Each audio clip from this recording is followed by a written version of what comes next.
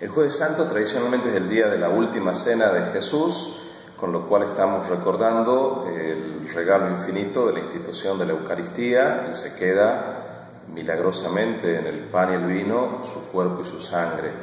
Inmediatamente Jesús agrega, hagan esto en memoria mía, con lo cual los cristianos siempre consideraron que el segundo gran regalo del jueves santo es el sacerdocio. A los apóstoles les encomienda perpetuar antes que nada este regalo de la Eucaristía, pero perpetuar toda su obra.